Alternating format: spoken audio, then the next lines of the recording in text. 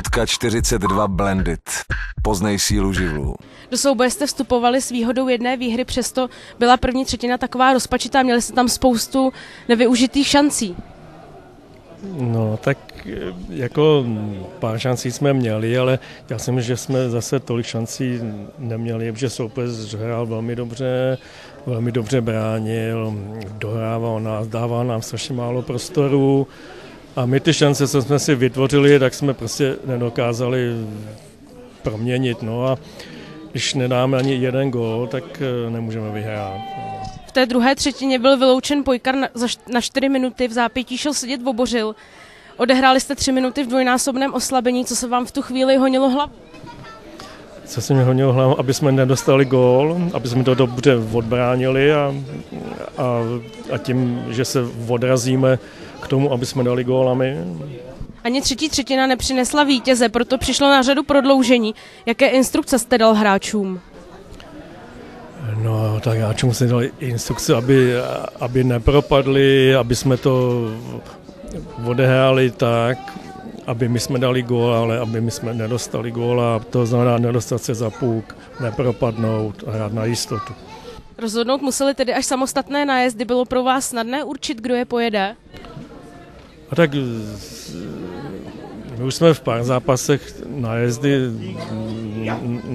nájezdy jsme jako hráli, ale to se nám dařilo víc a zase jeli ty osvědčený hráči, a, ale ono to není tak, že ten hráč to dá po každý, že jo. Takže jednou to vyjde a někdy to nevíde.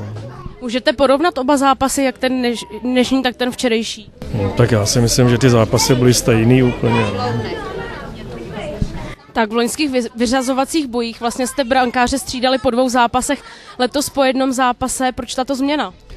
Ne, v loni jsme střídali taktéž po jednom zápase a e, pokračujeme v tom i letos. Playoff, v playoff jsou tradiční takové rituály. Máte vy osobně nějaký? Rituály? Jako, já nevím, teďka barvení hlavy, no tak viděli jste, že, že jako pár hráčů si obarvují hlavy, ale není to povinný. Povinný je se neholit. Ale bohužel to je druhý den, takže ještě nejsme zarostlí. No. Co říkáte na to letošní téma lvy ve válce? No tak já si myslím, že to je dobrý téma, no. Tak jen, aby se nám ta válka dařila. Včera jste se nechal slyšet, že byste v Ústí chtěli vyhrát jeden zápas, to se vám povedlo, takže jaké z toho máte dojmy?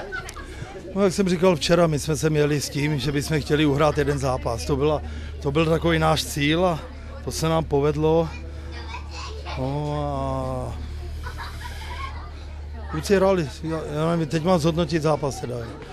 Tak kluci hráli zodpovědně, samozřejmě bylo to založené na zodpovědný hře, maximální nasazení a disciplína. Samozřejmě podpořená velmi dobrým výkonem Golmana, celá série e, načasovaná perfektně do playoff, má vynikající formu a kluci hráli všichni na maximum, zodpovědně dozadu a, a hlavně trpělivě. E, šance byly na obou stranách. Myslím, že i my možná jsme měli malinko víc gólových šancí, víc dvě, dvou minutů, pět na tři přes silovku, tam, tam jsme mohli už rozhodnout, nepodařilo se to, ale, ale nějak nás to nezlomilo, pak zase velký tlak soupeře, ustáli jsme to a, a jelo se, do, šlo se do prodloužení. Tam byla velká šance, obrovská na rozhodnutí Patrick Beck a Francouz taky výborný golman, chytil to, jak mě ho vytlačil a rozhodli penalty a tam je to vždycky buď a nebo a my jsme byli šťastnější. Já si myslím, že na těch penaltách se trošku už projevila nervozita favorita. No. Tam už ty kluci jsou šikovní, jak, jak Mikulík, tak Roubík, uh, tak Čurila.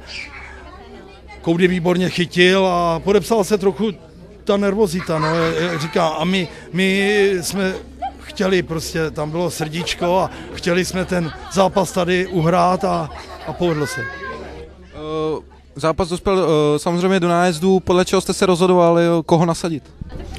No tak uh, francouz obrácený garde, tak jsme tam chtěli dát jednoho praváka, dva leváky. Uh, Filip nám jezdí po, Filip nám jezdí po každý pentle, ale Loskýho jsem určil a Hubáček, věřili si, chtěli do toho jít, šli. No a povedlo se, no, Filda to rozhod, který jezdí vždycky, no, to je takový penaltový uh, hráč, který jde na penaltu vždycky, akorát když řekne, že ne, že se necítí, tak to, ale dneska si věřil a, a to. Byl to zápas brankářů a jak francouze, tak um, Kouckýho a co na ně říct, že měl tam několik až fenomenálních zákroků, opravdu podržel jak včera, tak dneska. Co na to říct, jak, jak už jsem říkal, perfektně načasovaná forma do playoff a, a vynikající golman. Máte za sebou vlastně šest zápasů, včetně série s Berounem, takže byla to i pro vás výhoda, že jste už rozehraný a neměli jste třeba žádnou přestávku, ale na druhou stranu únava mohla být, čo? Výhoda, to, nějaká taková trochu výhoda to byla, bych řekl, první zápas. Tenhle druhý zápas už to taková výhoda nebyla, chlapi hráli, rozehraný byli, měli větší sílu, tak si myslím, že teď měli ve výhodě byli trošku ústecký, ale zase ta psychika tam hrála, oni jsou favoriti, oni museli, museli doma to potvrdit, teď se to vyvíjí, podařilo se nám udržet e, začátek, což bylo hrozně důležité a pak ty, ty minutky ubíhají a ono pak už ta nervozita je na nich a, a to se podepíše i v koncovce a, a Koudy samozřejmě vynikající golman, který, který eh, chytá zázračně a, a když chytá také velmi dobře, tak i ta trochu štěstí se k němu obrátí vždycky. Úvodní dějství dnes začalo v pomalejším tempu než včera. Nebyli jste po včerejšku unavení, kdy jste vlastně odehráli v druhém dně druhý zápas?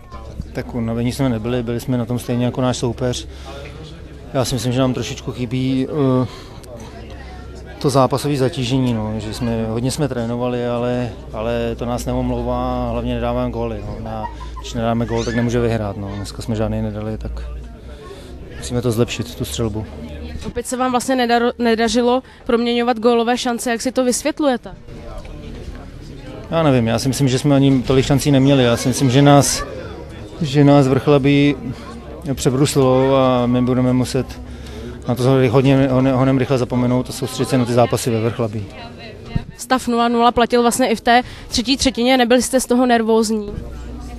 Nervózní jsme nebyli, my jsme čekali, že udělají nějakou chybu a my jsme se snažili hrát hodně dozadu, oni hráli tady, oni hrajou venku, oni hrajou taky dozadu a, a výborně nás napadali rychle a bylo těžké se prosadit. Měli jsme tam nějaké šance, mohli jsme je proměnit, ale oni měli taky šance, takže to bylo vabank. Vrchlabí vlastně hraje hodně do těla, vyhovuje vám tento styl hry? Tak eh, samozřejmě je lepší hrát proti nějakému techničtějšímu mužstvu, ale prostě Vrchlabí hraje hodně do těla, jsou tam mladí hráči, o, rychle nás napadají, no je to těžký, no, je to těžký se proti, proti takovému mužstvu prosadit. Můžete nějak obě utkání porovnat? Já si myslím, že byly obě dvě stejný, akorát, že v tom prvním jsme dali čtyři góly a vyhráli jsme. Utkání dnes dospělo do prodloužení, které se hraje ve čtyřech hráčích, tak je lepší pro vás tento počet, nebo se vám hraje lépe v pěti? Hmm, to je těžký, těžko říct, tak je tam víc místa na tom ledě, ale proti takovému mužstvu, jako je Vrchlabí, který si prostě rozeberou hráče a hrajou jeden proti jednomu, je to, je to těžký. No. A já si myslím, že, že i hodně, hodně tam hákovali a drželi. A, takže to, to, tohle bylo hodně těžké se přes ně přejít. Prostě, no utkání vlastně dospělo do samostatných nájezdů. Věřili jste si na ně? Těžko říct, to se musíte, to se musíte zeptat těch, eh, co, co to trestní střílení jelo. No. Já si myslím, že brankáři podali výborný výkon, jejich brankář chytá výborně, náš brankář dneska pochytal eh, vlastně vychytal ten zápas a pak už je to, ty trestní střílení jsou banka a dneska mělo vrchlabí větší štěstí. No. Takže postarali, postarali jste se v Ústí o senzaci, srovnali jste stav série, co to pro vás znamená v dalším vývoji čtvrtfinále? Tak my jsme sem přijeli zkusit vyhrát jeden zápas, to se nám povedlo. Včera se nám to nepovedlo a dneska, dneska jsme dobře bránili a bylo to v jednom gole, no, tak dopadlo to a jsme rádi, že jsme to udělali. Ten. Ty jsi, ty jsi, určitě, ty jsi určitě zachytal, uh, jak je to pro golmana těžké, když může rozhodnout jediný okamžik, jediný gól a hraje se 70 minut. Tak na obě dvě strany byly hodně šancí, i Pavel Francouz měl hodně, hodně zákroků a bylo to o jedné chybě, no, která, která nebyla, ale dospělo to až na nájezdy a tam to už je loterie a tu jsme vyhráli. No. Uh, jak se cítil při nájezdech? Třeba známe, že Milan Mikulík umí nějakou tu klišárnu. Věděl si třeba, čekal si, co některý hráč udělá? Tak určitě jsem jsme hráli nájezdy už v základní části s Ústím a tam mě dvakrát vykoupali, tak, tak jsem zkusil co nejdíl stát a, a dopadlo to. No. Dal se přirovnat včerejší zápas k tomu dnešnímu? No dneska bych řekl, že Ústí hrál líp jak, jak včera. No. Ještě, že jako vyhráli, že byli víc jakoby namotivovaný mě přišlo a že víc lítali na tom ledě, no. že víc bruslili a že to byl hodně útočný hokej, bych řekl dneska. Doma určitě budete mít plný stadion, určitě celé město tím bude žít. Věří, že třeba Ústí dokážete ještě víc potrábit nebo snad i vyřadit třeba? Tak uvidíme, hlavně, aby to nebyla nějaká euforie, no, aby, jsme, aby jsme si nemysleli, že jsme je porazili a že, že to bude samo teď. No. Musíme hrát furt stejně a, a uvidí se.